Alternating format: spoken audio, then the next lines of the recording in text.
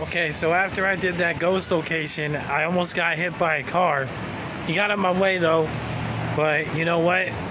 Just a weird coincidence. I'm not playing Randonautica right now. I'm just uh, remembering from the last time we did it last weekend. So, just weird. But yeah, I'm safe. I'm good. I'll catch y'all on the next mission. Like.